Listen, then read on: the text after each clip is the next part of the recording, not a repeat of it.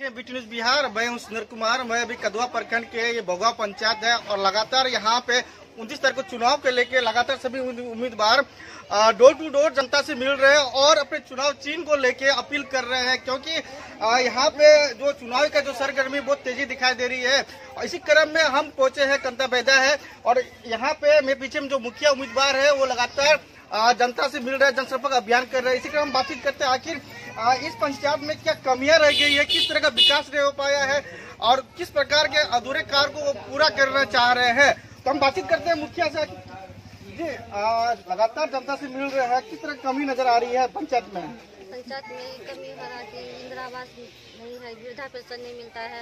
ननी ननी में सब चीज़ में कमी है। जितना भी पेंशन आएगा सरकारी मुखिया बनने के बाद सब सब चीज़ करेंगे हम। आ, लगातार आप जनता से मिल रहे हैं डोर टू डोर जा रहे हैं लेकिन कमियाँ क्या नज़र आई है? सबसे पहला इंदिरा आवास की। निवर्तमान जो मुखिया यहाँ जो रहे हैं उसका कार्य किसका आ, किस प्रकार का रहा इस पंचायत में?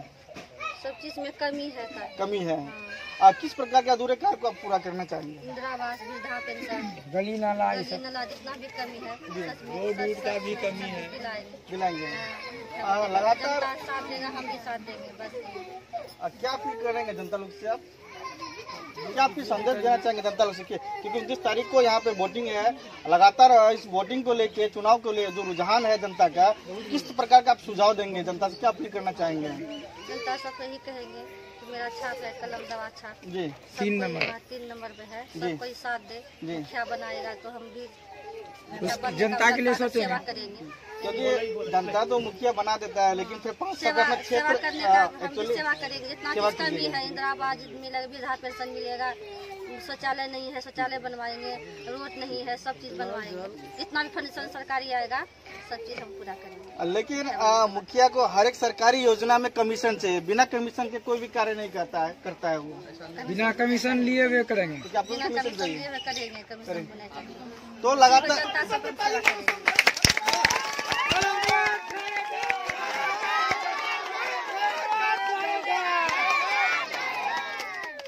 तो लगातार जो उनतीस तारीख का जो वोटिंग को लेके है और लगातार जनसंपर्क अभियान कर रहे हैं और चुनाव जो प्रचार है वो कल तक भी लास्ट लास्ट है। है। तो क्या इसके बारे में क्या कहना चाहिए आप? जनता है। प्रार्थना करते हैं सब कोई मिल के कलम दवा तीन नंबर पर सब सबसे प्रार्थना ही करते हैं हमको मुखिया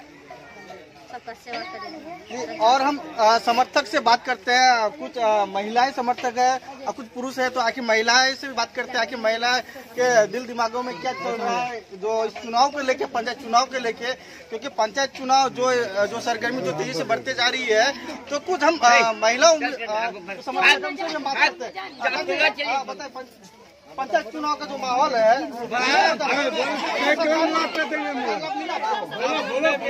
लाभ सरकारी मिला है। आपको भाषा में बात कर कुछ मिला सरकारी लाभ कुछ नहीं मिला हाँ? सरकारी फंड में हम लोगों को कुछ नहीं आता। कुछ नहीं मिला है बेटा को नहीं मिला है कि शौचालय नहीं मिला है कुछ नहीं मिला है। तो इस बार क्या सोचे हैं? ये बार सोचे है कि सुनील मुखिया में जीत जाएगा नहीं तो वो देगा। देगा? हाँ देगा। कई मान मान के चलिए जीत गया फिर अगर नहीं दे तो देगा देगा हाँ, उम्मीदवार वादे तो करते हैं विकास की बात कर रही है पंचायत को बदलाव करने की बात कर रही है। क्या आप? हम लोग को पूरा पेंशन नहीं मिलता बड़ा है। हाँ? क्या होगा? नया मुखिया बनाने के लिए।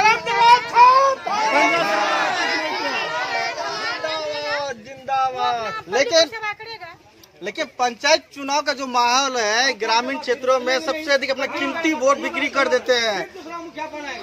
क्या कहेंगे? लगातार पंद्रह साल जो मुखिया रहा ना तो किसी को राशन कार्ड का वो मिला है ना तो किसी को इंदिरा आवास मिला है ना तो क- वो गुहा जो आता है सरकारी गुहा जिसको गाय उसको तो दिया ही नहीं है। हाँ, पशु शेड जो आता है उसको तो दिया ही नहीं है। पंद्रह साल वो राज किया है इस बार मुखिया आपको बदलना है। हर हालत में और कलम दबाव पे मोर मारे और जिताइए सबको सबका विकास होगा। लेकिन ग्रामीण क्षेत्रों में दारू के चक्कर में मांस चावल खाने के मांस भात खाने के चक्कर में मुर्गा चावल खाने के चक्कर में वोट बिक्री कर देते हैं। ऐसा होता है कोई करता है ऐसा होता है। हाँ। होता है। लेकिन हम लोग का जो नारा है कभी गलत नहीं होता है और जो पंद्रह साल राज किया है मुखिया को बदलना है। तो उनका जो कार्यकाल से क्या? मेरा हर भाई बिंदु से ही निवेदन है कि दारू ना मुर्गा खा के और सुनील मंडल को वोट दे। और पर यहाँ ही वह मुखिया रहेगा। एक अच्छा प्रतिशाली है। हम लोगों को अभी कुछ नहीं मिल रहा। नहीं मिला है जो यहाँ का जो मुखिया रहे पाँच साल क्या उसका बर्बाद में हम लोग नहीं नहीं गए बदलाव बदलाव एकदम बदलाव चाहिए बदलाव तो बदलाव लगातार यहाँ की जो जनता है, वो चाह रही है कि इस पंचायत के विकास के लिए हम अपने उसी उम्मीदवार को चुनेंगे जो हमारे क्षेत्र को विकास कर सके, जो बदलाव कर सके, जो सरकारी लाभ जो है जन जन तक पहुँचाने का काम कर सके। आप बने रहे ब्रिटिश बिहार के लिए। जनता पैदा से ब्यूरो रिपोर्ट, कटिहार।